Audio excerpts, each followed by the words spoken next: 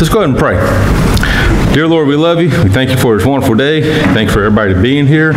We thank you for um, hearing the scripture from the Carters, and we just pray for the Cornerstone Church. And we just thank you again for this day, everybody being here. And we thank you, Lord, for dying for all of us and our sins. And we love you, dear Lord. And I just pray that you bring the Pastor Dan with a message and make sure we can hear it good, dear Lord. In your great name I do pray. Amen. All right, well, mine's similar to what we're reading today, so Psalm 18. We'll start there first.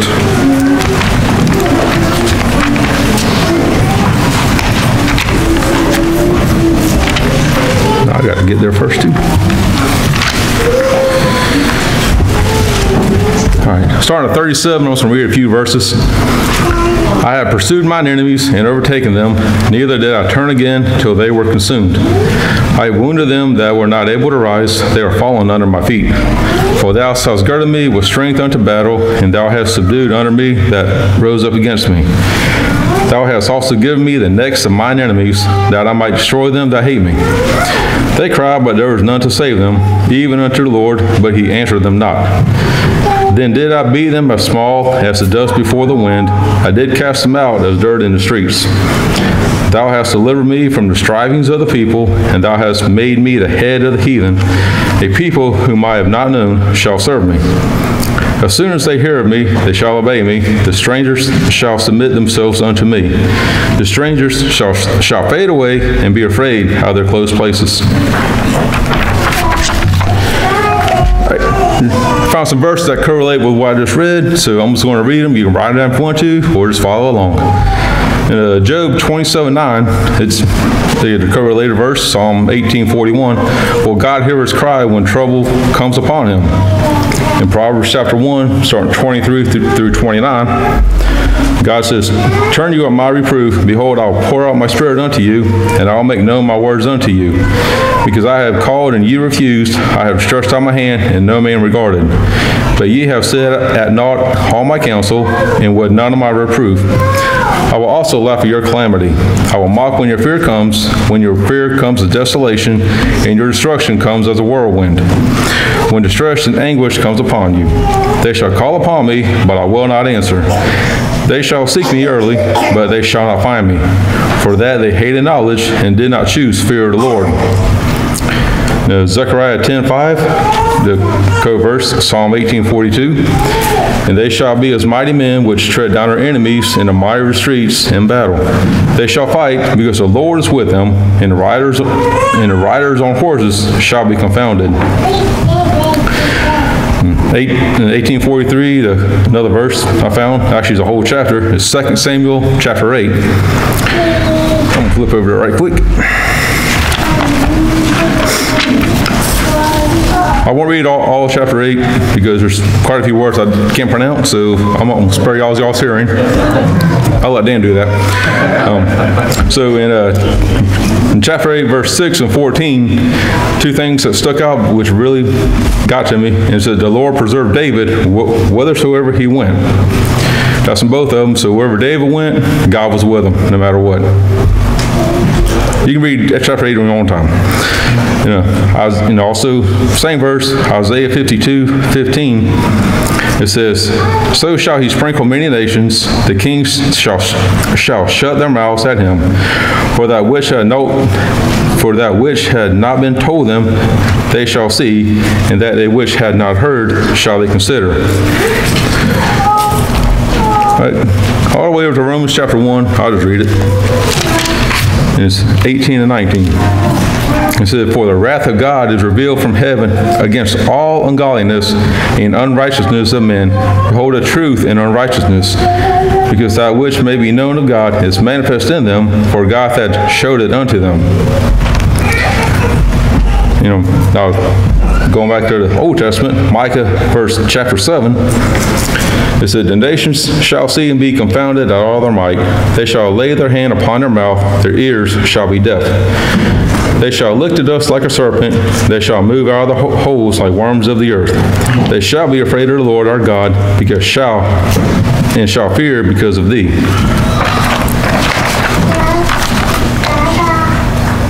This to be the little transition from being dark and heavy and like, what's, is there hope? Well, hey, Micah 7, 18. Who is a God like unto thee that pardons iniquity and passes by transgression of the remnant of his heritage? He retains not his anger forever because he delights in mercy. He will turn again he will turn again, he will have compassion upon us, he will subdue our iniquities. Thou wilt cast all their sins into the depths of the sea. In Proverbs 3, 4 through 6, so shalt thou find favor and good understanding in the sight of God and man, and trust in the Lord with all your heart, and lean not unto thine own understanding. In all thy ways acknowledge him, and he shall direct your paths. Thank you, Wesley. Appreciate that. You know, in Colossians 1, to add on to the, the goodness of the Lord, actually, he's adding this his goodness on to us, not the other way around.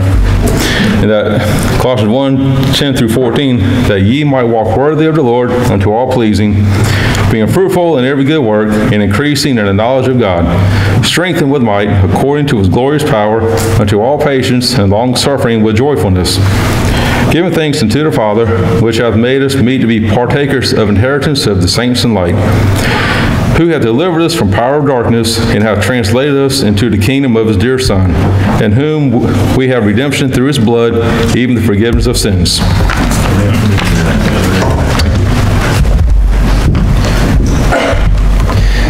Our next hymn is number eight in the book. Uh, A Mighty Fortress is Our God. If you can remain seated on this one. Number eight.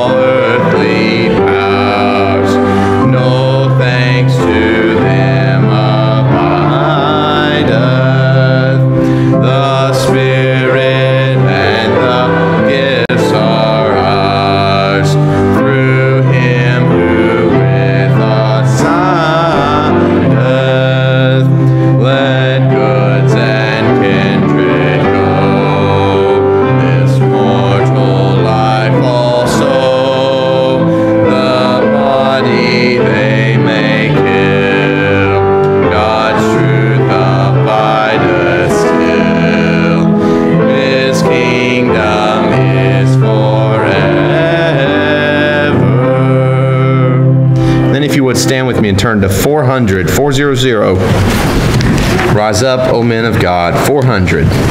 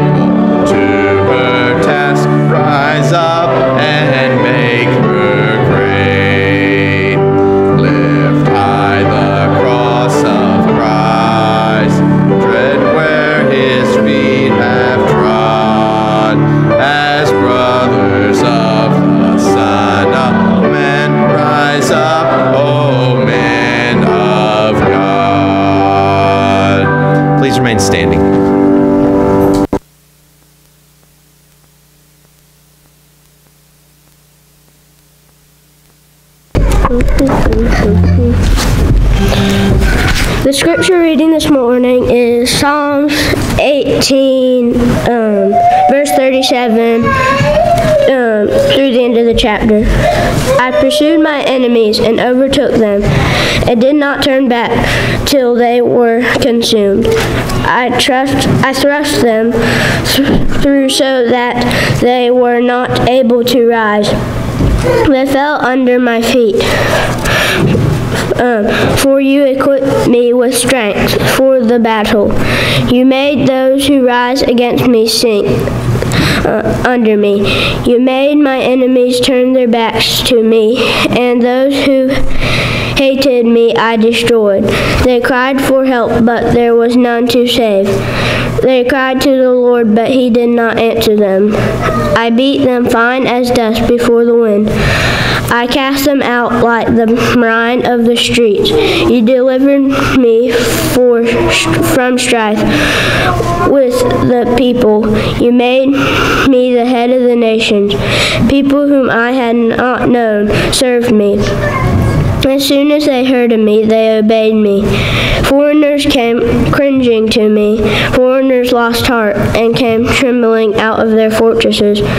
The Lord lives, and blessed be my rock, and exalt be the God of my salvation. The God who gave me vengeance and subdued peoples under me, who rescued me from my enemies. Yes, you exalt me above those who rose against me. You delivered me for the man of viol- from the man of violence. For this I will Praise you, O Lord, among the nations, and sing to your name. Great salvation he brings to his king, and shows steadfast love to his anointed, to David and his offsprings forever. Let's go, Lord, in prayer. Father,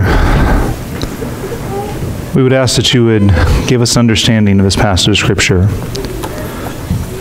That we would see, Father, not just your power in David's life, but that we would see your power over sin and death in your Son, Jesus Christ.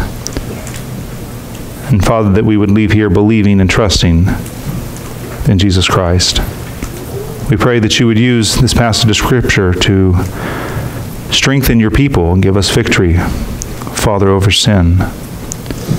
We pray that you would exalt Christ. And that those here that do not know him today would turn from their sins and believe in Christ. It's in Jesus' name that we pray. Amen. You may be seated. as we finish up the chapter here, we're going to be looking at this passage of Scripture in three different interpretations. We're going to go through it three different times. And we're going to be looking at it for the historical interpretation, and that is what God did in David's life. And then we're going to go through it from the actual interpretation, and that, that is this is actually about Jesus and his defeat of sin and death. And then we're going to go back and look through it from a personal application in terms of what it means for you and me today. As we've been looking at Psalm 18, we have seen that this is David recounting how God has delivered him. Um, and if you go back and read 1st and 2nd Samuel, uh, I appreciated what Ted shared this morning from 2nd Samuel, another passage of Scripture. You'll see exactly what we're talking about here. If you've not read David's life story, um, this will not make near as much sense as if you're familiar with David's life story. And if you understand David's life story, this whole we're going to get makes so much sense. So I'm going to kind of go through from verse 37 on and kind of just go back to different things from David's life that encourage you, if you are not familiar with him, to go back and read 1st and 2nd Samuel. In verse, 40, uh, verse 37, he says, I pursued my enemies and overtook them. Now, when we talk about pursuing enemies, what has just happened in this passage of Scripture, literally just taken place, is the Amalekites had come while he was off with the Philistines, had burned their city to the ground, kidnapped all him and his, his, his mighty men, all of their wives and children, taken everything they owned, and, and fled. The mighty men turned on David and were going to stone him, but David strengthened himself in the Lord, and that night they pursued the Amalekites. That's what he's speaking of here. He pursued his enemies and he caught up with them. It says in verse 37, he says, Neither did I turn again until they were consumed. They slaughtered every single one of them. Okay? They did not stop till the battle was over. Okay? Keep reading. Verse 38. I have wounded them that they were not able to rise. The word wounded is sometimes translated as thrust through. In other words, this is the knockout punch. I hit them once, they didn't get up again. And he's really speaking literally. They attacked them so fast and so hard that there was virtually no resistance. They hit the enemy so fast, so hard that they couldn't even fight back. I mean, it was the knockout blow that was the end. He gives the description in verse 39 of how he was able to have this victory. For you, that is God, have girded me with strength to the battle. You have subdued under me those that rose up against me. As we've seen constantly, David does not take credit for what takes place in his life. He gives all of the glory to God. God is the one who gave him the strength. God is the one who gave him the victory. God is the one who defeated his enemies. And verse 40, you have given me the necks of my enemies that I might destroy them hate me. If you go back to the beginning of the psalm, it talks about this is the song he wrote when God delivered him from all his enemies. That's what he's referencing here. He is now king. He has now defeated all of those who've come against him. God in his grace and strength has defeated all of his enemies. In verse 41, it sounds a little weird because he speaks of his enemies crying and no one would save them. That makes sense. Someone crying out for help as you get literally run down by David and his mighty men. But then he says this that they cried even to Yahweh, that is the God of Scripture. And he didn't answer them. What is that referencing? Well, that's referencing Saul. Literally, just a few days before this psalm was written, Saul was going to go fight the Philistines. And because of Saul's sin, his pride, his rebellion, and arrogance, he is crying out to God, and God refuses to answer him. And if you remember, he then goes to the witch at Endor to have Samuel called up from the dead. This is exactly what happened. Saul was pursuing David. He started praying, God, help me kill David, help me win, and God refused to answer him. That's what he's referencing there. Keep reading. Verse 42 Then I did beat them small as the dust before the wind. I cast them out as the dirt in the streets. He's speaking of the, the, the, the, victory that he's given. You go back and you look, and the casualties that David and his men suffered are virtually nil for most of his battles. I mean, you're talking like, a, like just a wrecking ball that goes through and takes virtually no damage whatsoever. I mean, they just slaughter their enemies the same way that you would dust off your feet. That's the way David has been victorious. Verse 43 You've delivered from the strivings of the people. Yes, there was a lot of division and everything in Israel. You're going to find when David becomes king, they're still fighting for seven years between the, the, the, the people who want Saul's son to be king and the people who want David's son to be king. And David is delivered from that and made king over the whole nation. Civil war is, is, is it comes to an end. And that's what he's speaking of here is God delivers him from all of the arguing and fighting among the people of God. He goes on and says, You have made me the head of the heathen. You look at David. David is the warrior king. Not just before he becomes king, but as king, he defeats all of his enemies. That was, that was the passage that, that uh, Ted was referring to there that you can go home and read on your own. It's how David slaughters everybody. And it's like one chapter. He defeats like all of the nations surrounding them. And it's like one chapter because it happened fast because of David's military might, because of God's grace and strength and power in David's life. And that's what he's referencing here when he speaks about subduing the heathen. He goes on and he says, he says, a people who I have not known will serve me. If you look at the territories and the countries and the people that David conquered in his kingdom, David conquered virtually anybody that was in earshot. Okay, anybody that would have been around. Okay, he, they became one of the most powerful nations in the world under David. Now Solomon kind of enjoyed some of it, and then it went straight downhill after that. But historically, under David, Israel was probably the most powerful nation in the world for those few 40 years that he reigned.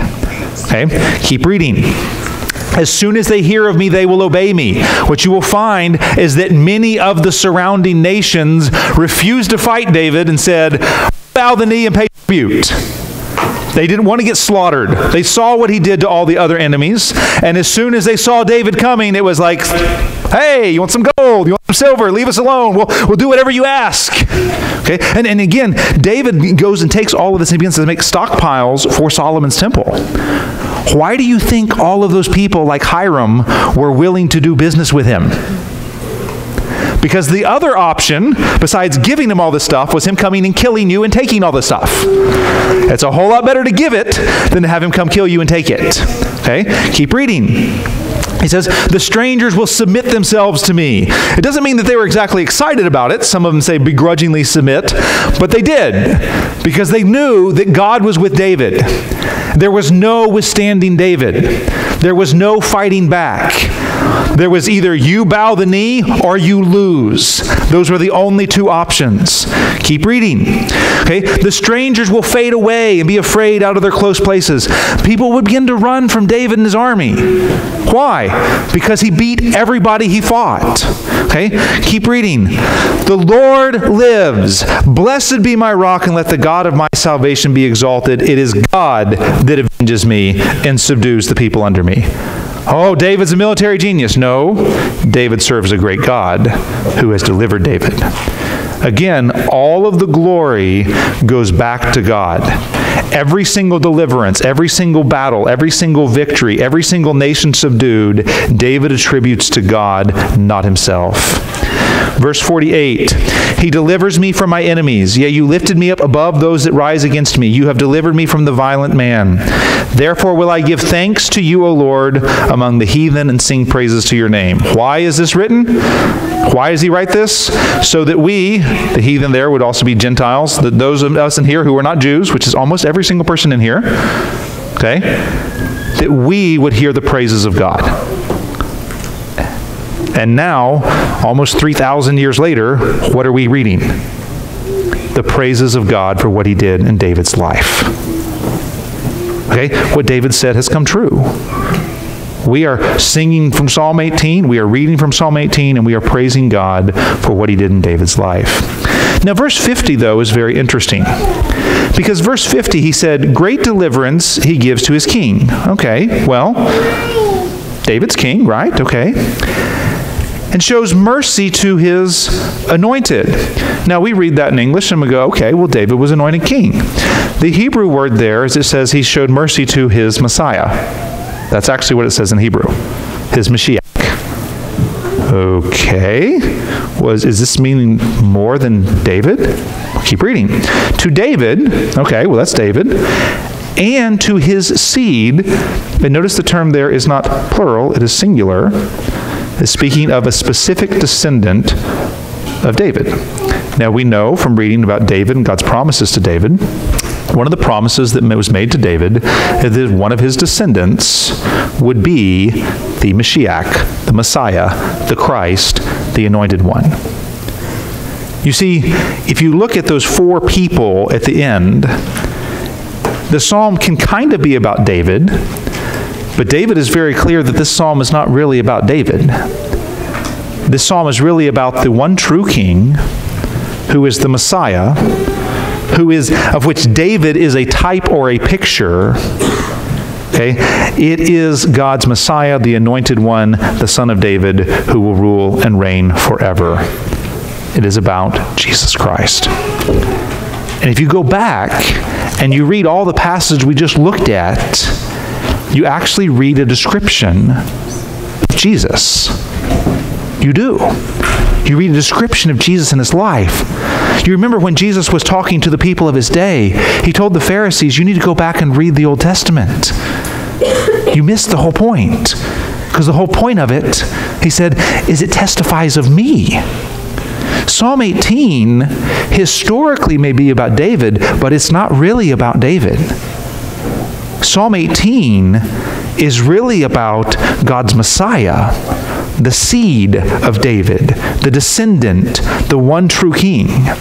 So let's go back and let's look and see whose life this really sounds like. It's the life of Jesus. Go back to verse 37. I have pursued my enemies and overtaken them. Oh, we, we, we, this is where we're going to get into the personal application. We think of the enemies of God as Romans. Okay, that's what the, was the people of his time thought. Political opponents but in reality, who was the enemy of the people of God? The world, the flesh, the devil. It was their pride. It was their self righteousness. It was their sin. It was the powers and forces of darkness. What happened when Jesus was crucified? What happened when Jesus Christ rose again from the dead? He pursued his enemies, overtook them, and did not turn again until they were consumed. We read in 1 Corinthians that the last enemy to be defeated is death. When Christ rose again from the dead, what did he do to his enemy that is death? He crushed it. He destroyed it. You go in verse 38, I wounded them that they were not able to rise. Remember Genesis 3:15 when it talks about the snake? So the snake will, will, will bruise his heel, but he will crush his head. What happens when you blow the head of a snake off? It ain't getting back up again. That's what happened when Jesus died. When Jesus rose again from the dead, he crushed his enemy to never rise again. Okay, keep reading. They are fallen under my feet. I wonder why he'd say under my feet. You will bruise his heel, he will crush your head. The idea is the idea here is Jesus' foot coming down on the head of Satan and literally trampling him to death. Keep reading. You have girded with me with strength to battle. You've subdued under me those that rose against me. Jesus on the cross looks defeated, but when Jesus rises again from the dead, what do we really know? We really know he defeated all of his enemies. They thought they had him. There were times when Saul thought he had David. There were times when Goliath thought he had David too. Jesus Christ, in his resurrection from the dead, defeats his enemies. Okay? You've subdued under me those that rose up against me. There were people who rose up against Christ. They were defeated by Christ's resurrection. Verse 40, you've given me the necks of my enemies that I might destroy them that hate me. Have you ever read a description of heaven? All that makes sin is not there. All of the powers of darkness are not there. Christ wins. Christ defeats them. And verse 41, they cried, but there was no one to save them. Go read Revelation. They will very, they'll cry out for the very rocks to cover them, to hide them from the Lamb who sits on the throne. Goes on and he says, he says, they cried even to Yahweh, the God of Scripture, but he did not answer them. Why was Jesus crucified? He was crucified by religious people, wasn't he? who thought that they were doing Yahweh, the God of Scripture, a service by killing Christ. But who was God really on? Whose side was he really on? Christ. How do we know that? Because he rose again from the dead. Okay, you keep reading. Verse 42 I beat them as small as the dust before the wind. I cast them out in the dirt in the streets. Have you ever read in Revelation where Christ comes riding in on his white horse? And all the armies of the world are gathered against him, and it's almost like he goes poof, and they're gone. That's what he's being referred to here. Is a complete and total victory of Jesus Christ. Keep reading. Verse 43 You've delivered me from the strivings of the people, you've made me the head of the heathen. Okay? Christianity began with a bunch of Jews. Very few people even realize that today because the vast majority of Christians are Gentiles. And who is our head? Jesus Christ, the King of the Jews. We have bowed the knee to him. Okay? He has been victorious. Keep reading. He says, A people who I have not known will serve me. That's exactly what the prophets talked about. Okay? How, how th- th- there was going to be a rejection of Christ by his own people. He came unto his own, but his own received him not. Okay, so what happened though when the gospel went to the Gentiles? What happened with Cornelius? What happened with all of Paul's missionary journeys? Who was it that received the gospel gladly? It was the Gentiles, it was the pagans. That's exactly what Psalm 18 said would happen. The, the, people who did not know of Jesus, did not know of the Word of God, did not know of who God was, would bow the knee to God's anointed King. Keep reading. It says, As soon as they hear of me, they will obey me. I mean, eh, have you ever marveled at how quickly Christianity went around the globe? How fast Christianity spread? You realize the day Christianity was quote unquote founded, okay, if you want to go to Pentecost, 3,000 people came to faith in Christ as soon as they heard the gospel. What happened to Cornelius? How many times did he have to hear the gospel? While Peter was still telling him of Christ, the Spirit of God came on Cornelius and his family. Literally, as soon as they heard, they were brought under Jesus Christ and his rule. The strangers will submit themselves to me. Oh, there are people like Paul who begrudgingly bowed the knee. Saul, Saul, why are you persecuting me? It's hard for you to kick against the pricks. It's hard for you to kick against the goads. You don't need to tell me this. Okay, let me just, just tell you this point blank. Paul did not come happily. He did not want to bow the knee to Christ. But the moment he met him, on the road to Damascus, what happened? He bowed the knee. You see, Psalm 18, yes, historically it's about David, but really, it's about Jesus. It's about the Messiah. You can keep reading about strangers fading away, being afraid out of their close places. Again, they will run to the caves, we read in Revelation, to hide from God's returning Messiah. It is God that avenges me. Okay? Where, where, did, where did Jesus leave his vengeance? When Jesus was on the cross dying, did he pronounce a curse on those who crucified him, or what did he do? He said, Father, forgive them. And then what did he say? Into your hands I commit my spirit. Who is the one who vindicated Christ? God vindicated Christ by rising him from the dead. Okay? And subdues the people under me. That would make a lot of sense from what Jesus said in John 6. No one can come unless the Father draws them. Okay? How did they come to Christ? Because God subdued their hearts and brought them to him.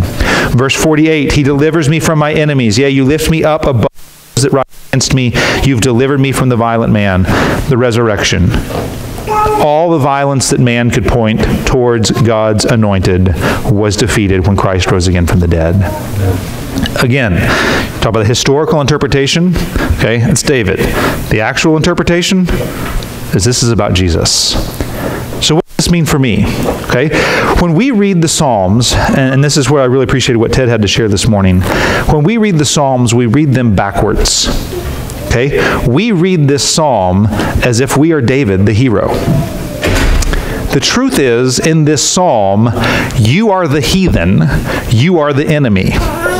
That's who you are. Okay? And so when we begin to look at this from its actual interpretation and see God's Messiah coming, we are the enemy okay, that must bow the knee fast to the Messiah before he wipes us off like dust off his feet. Okay, then we read this in Psalm 2 Kiss the Son, lest he be angry and you perish in the way. You see, our sin has made us rebels against a holy God. Our sin makes us standing and deserving of his wrath and deserving to be crushed to never rise again. But God, in his grace, sent his Son Jesus Christ so that you might be forgiven. He has sent his Son Jesus Christ so that if you will bow the knee, if you will come like the heathen here who came to David, if you will come, you will be spared. There is forgiveness found in Jesus Christ. There is welcome into the people of God. Then that's the first application of this. Is would you give your life to God's anointed one, his king, his Messiah, Jesus Christ? There's coming a day, go read Revelation, when it will be over. And you need to remember from Jesus' teachings in Matthew 7 exactly what is said in verse 41. And that is, many will say in that day, Lord, Lord. They're going to cry out in the name of the Lord. And he's going to say, Depart from me, I never knew you. If you try to be right with God in any other way than Jesus Christ, you have no hope. The only hope for you and I to escape the complete and total victory that Jesus Christ brings is to come to Him in simple faith and be on His side, not the one against Him. This is why Jesus came. He came not to necessarily crush people, but to deliver us from the sin that enslaved us. And if you're here today and you are not a believer in Jesus Christ, the way to be on the side of the Messiah, who is victorious, is to turn from your sin and self righteousness and believe in Jesus Christ, and that your standing before God is based upon His life, His death, and His resurrection alone. Believe on the Lord Jesus Christ, and you will be saved, and your house, as Layla quoted this morning. It is through faith in Christ. You have the opportunity today to bow the knee as soon as you have heard of God's reigning King, Jesus Christ. But there's more to this than just an application for those who are not believers. For those who are believers in Jesus Christ, what we need to understand is that there is victory over our enemies in Jesus Christ. And the first thing we need to understand is what it says in Ephesians chapter 6, and that is we do not wrestle against flesh and blood. This is probably one of the greatest misinterpretations people have of spiritual warfare. Is they think that the enemy's Russia, that the enemy is the Taliban, the Muslims, the enemy is the Democrats, the Republicans, the enemy is Obama, the enemy is Biden, the enemy is Trump. Okay? The enemy is this person, the enemy is that person, the enemy is that gossip over there, that slanderer over there, that adulterer over there. No, we do not wrestle against flesh and blood, but against principalities and powers, spiritual forces. The enemy of your soul is not another person. The enemy of your soul is sin. It is Satan. You see, the way we begin to look at it is we look and say, My enemy is the Democrat or the Republican. No, your hatred of them is the enemy of your soul. Your refusal to love them is what's going to kill you. Your refusal to forgive it is what is going to destroy you. The enemy is not the person, the enemy is sin. That's the enemy. And this changes the way we look at our world. Because what Satan has done is he has pitted us against other people, co-workers, boss, family members. Oh, my mother. Oh, my father. Oh, this child. And then we, we, what we do is we make these people the enemy. Oh, so-and-so. If only so-and-so would leave the church, we'd have a wonderful church. As if so-and-so's the problem. Okay? There are many churches that go, if we could just get rid of the preacher, we'd be okay. And there's many preachers that go, if I could just get rid of the deacons, we'd be okay. And there's many deacons that say, if we could just get rid of everyone else, we'd be okay. And that the enemy is not the people. The enemy's not the people. The enemy is the world, the flesh, the devil. The enemy is the spiritual powers that enslave us. And Jesus Christ came to set us free. You will call his name Jesus, not because he'll save his people from communism, but he will save his people from their sins.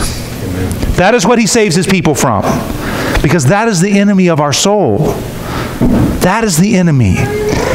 And the truth be told, many of the physical people that you view as your enemy, as you fight them, you're not fighting the chains that are binding them.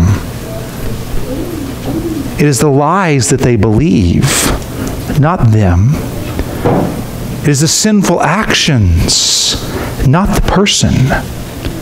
And this is, this is something that, that, that is just some really practical advice for you. I, I deal with this all the time in marriage counseling, is you begin to view your spouse as the enemy, not the pride in your own heart, not even the pride that's within them. And so instead of fighting for your spouse to be delivered from their addiction, instead of fighting for them to be delivered from their temper, you make them the enemy. No, the enemy is the darkness that binds them. I tell you, it happens in the church too. We fight against people, not the bitterness that has enslaved them, not the sexual sin that has enslaved them. Instead of fighting to see them delivered from their true enemy, we make them the enemy. We don't wrestle against flesh and blood. Now, this is where we've got to change the way we view sin. I want to spend a lot of time giving you a lot of illustrations, some parables in Scripture to help us understand this. Because a significant amount of the way we fight against sin is not just unbiblical, it's anti biblical. And is not just not helpful, it's hurtful. You see, in, in, in not, I don't want to judge too much based upon the way we pray, but so often we pray for victory over sin. And don't even realize that that prayer in and of itself is unbelief. We just read of Christ defeating the enemy. That Christ has defeated the devil. That Christ has defeated sin by his death, burial, and resurrection. And we sit there and pray, God, would you please do something? God already has. That's the gospel. The gospel is God has already done something. One of my favorite stories, and, and this will all make sense as we go through this. One of my favorite stories Jesus tells is about the strong man, robbing the strong man. Y'all remember that story he talks about? I love that one. Because he says this He says, You can't rob a strong man. Okay? You can't. Why? Because he's stronger than you. Makes sense. Uh, when I was younger, I had a karate teacher um, who was, I think, seventh in the nation, like phenomenal karate guy. And some guys tried to jump him on the streets of St. Louis. Bad idea. They were in the hospital. Okay? Wrong person. It wasn't worth 20 bucks. Okay? Because you can't beat him. But what does Jesus say? How do you beat the strong man? How do you rob him? You have a stronger man come. And what does the stronger man do? The stronger man goes into the strong man's house. He takes the strong man and he ties him up. And then what can you do? You can take anything you want from the strong man's house because the stronger man has come and bound up the strong man. Okay? That's the gospel. If you go read in Ephesians chapter 2, we are under the power of Satan. We are under his control. We are, in essence, locked away in his dungeon. Jesus comes, takes the, the, the, keeper of the dungeon, ties him up, rips the doors off the hinges, breaks the, the chains, and says, Follow me out of the dungeon. And we go, God, would you please give me victory? He already has. Just follow Christ out of it. The issue is you don't believe that the doors are ripped off. We're like the church in Acts that's praying for Peter because he's in prison. God deliver Peter. God deliver Peter. God deliver Peter. And Peter comes and knocks the door. Hey, I think Peter's outside. Nope. We're still praying for God to let him loose from prison. God already did. Do you remember that God sent an angel? The angel touched the, the chains, they fell off. He opened the doors and he walked Peter right out of the prison. You see, what holds us in is unbelief. We don't believe in a God who gives victory over sin. one, one of the, the yeah, the, the pastor's the pastor's life is a lot of highs and a lot of lows. One of, one of the best days of my life was a young guy that was going to UF, um, and he was struggling with pornography. And we, we spent a lot of time talking, a lot of time talking with him. And it's just me and him, and we talk a lot about it. And throughout all the, the, talk and all those type of things, there came a day when I was supposed to meet him at Sonny's over on 39th. And so I was meeting him at Sonny's, and I got there early, got a table, and he walked in, and I mean, he was a big guy, strong guy, athletic, but he looked like an idiot. He had the biggest grin on his face I've ever seen from somebody. And he just walked in, he's just like, it's gone. It's gone. I didn't know it was possible. It's like, what are you talking about? He's like, like the desire for pornography is gone. I, like, I, have been, been walking freedom for a couple weeks. I didn't, I didn't think you could do that. But you see, that's the issue. Is you'll get told from the pulpit that you'll fight this the rest of your life. No, Jesus already fought it and he won. It's truth.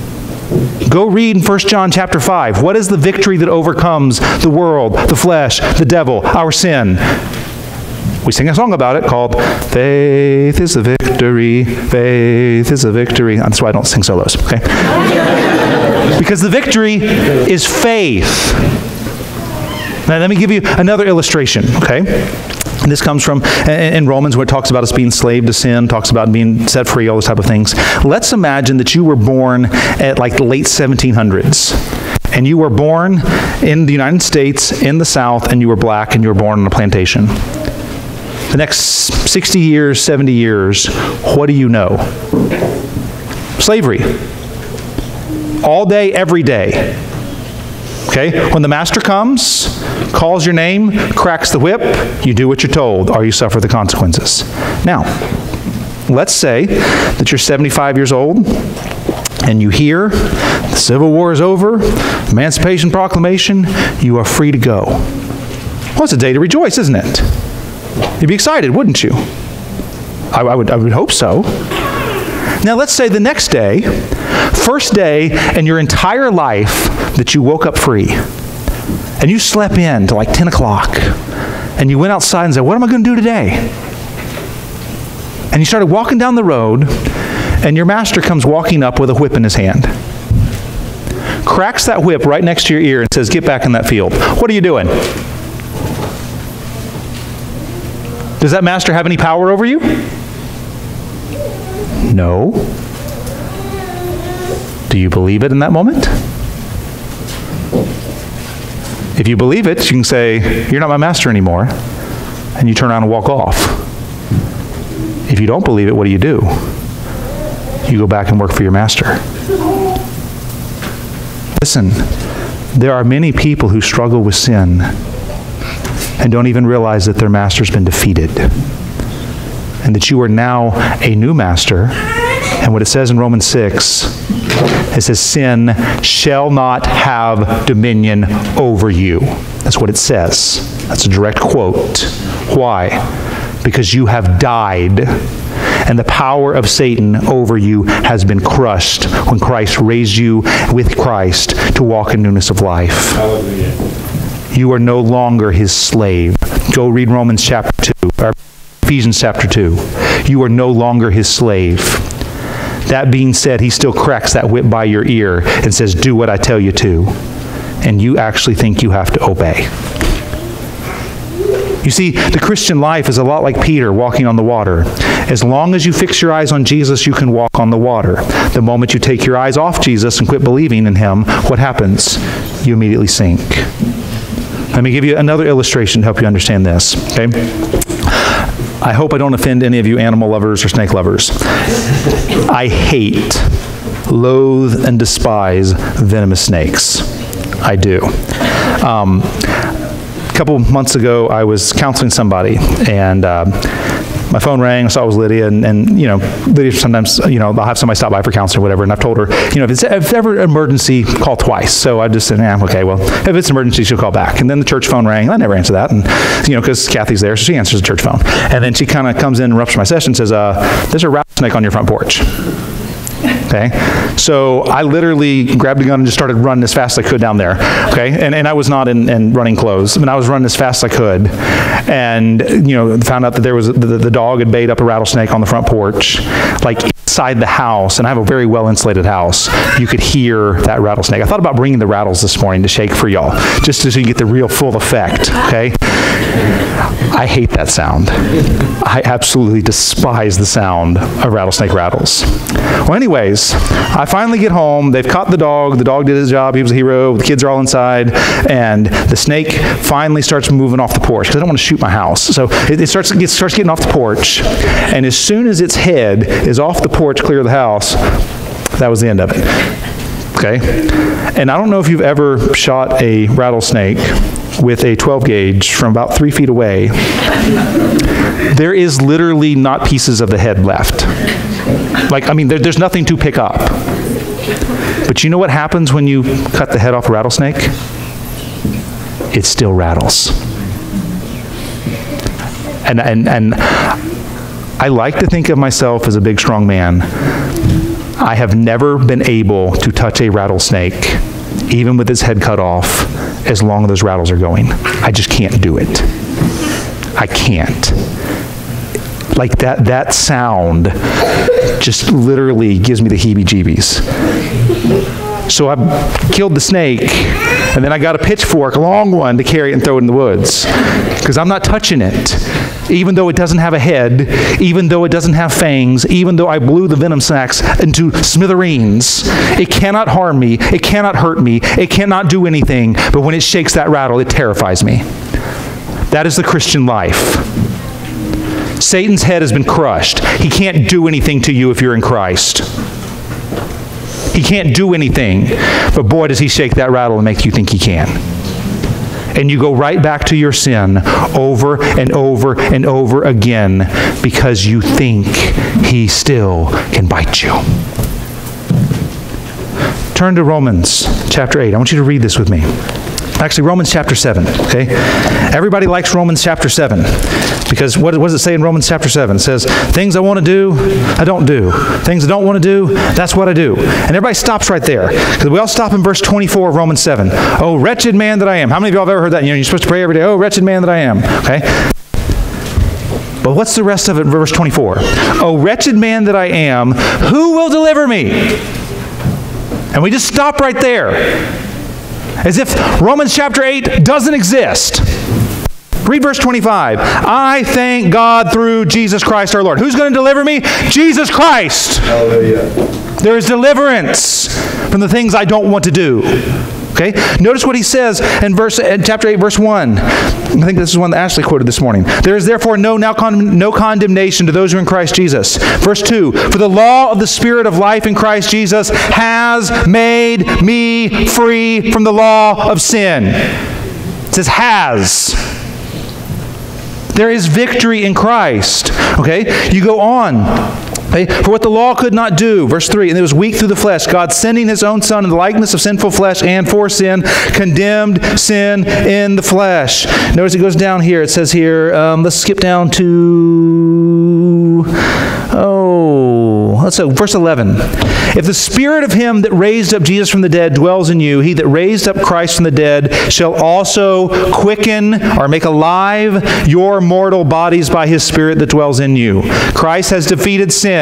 Christ has given you a new nature. He has given you a new heart. He has delivered you. He has tied up the strong man. He has blown off the snake's head. He has crushed the snake's head. He has defeated. Go read, go read Psalm 18. He has defeated him. He has thrust him through so he will not rise again. He has trampled him under his feet. Satan has been defeated for the believer in Jesus Christ. Okay? Keep reading.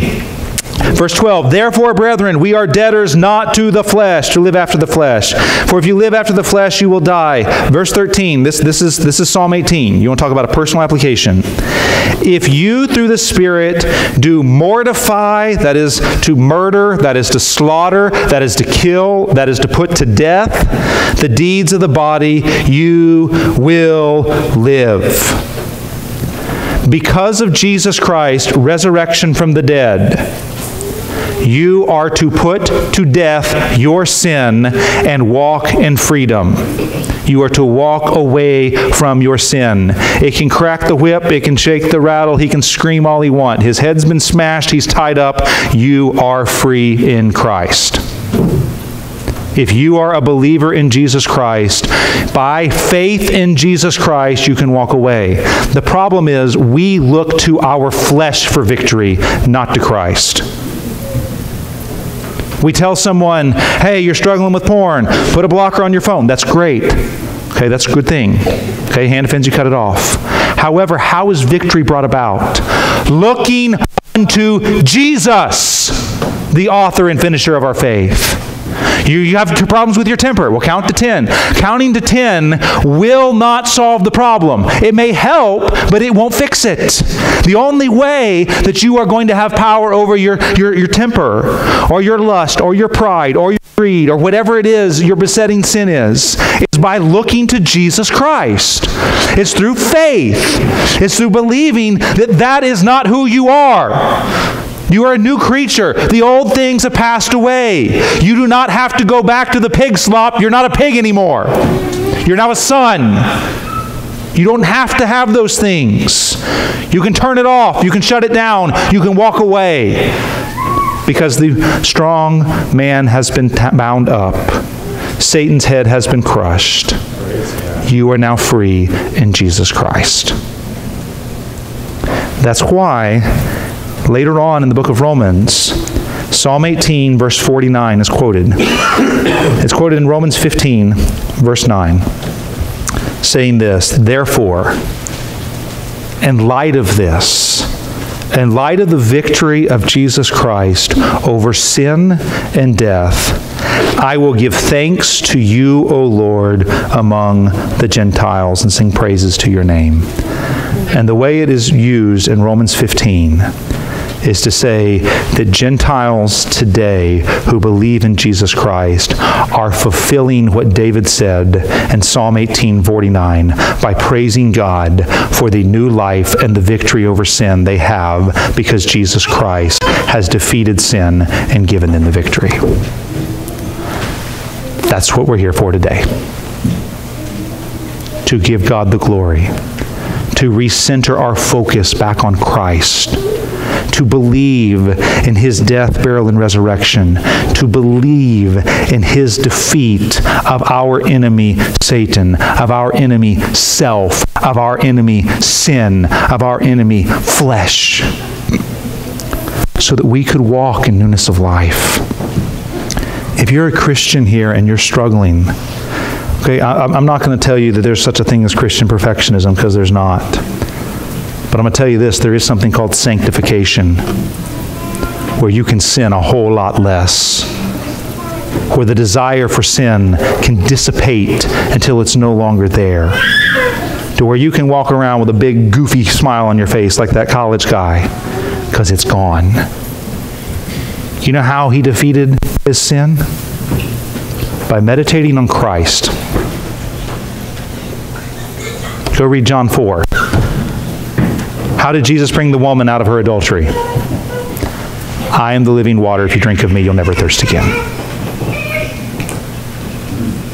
If you satisfy yourself in Christ, if your eyes are on Him, if you're looking to Him, like Peter, you can walk on the water till you take your eyes off of Him.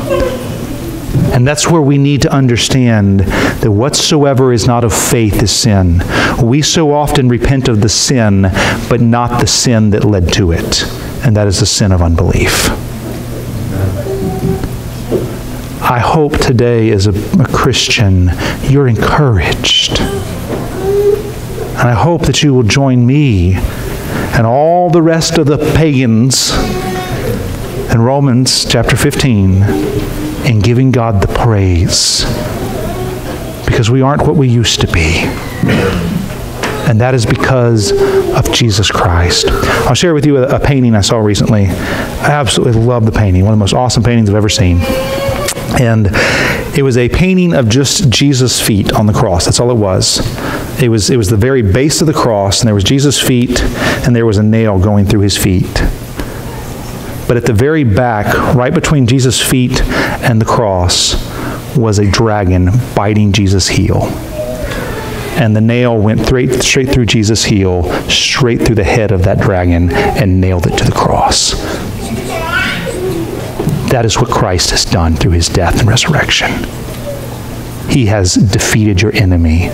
He has thrust him through so that he will not rise again. Praise God. Praise God. Amen.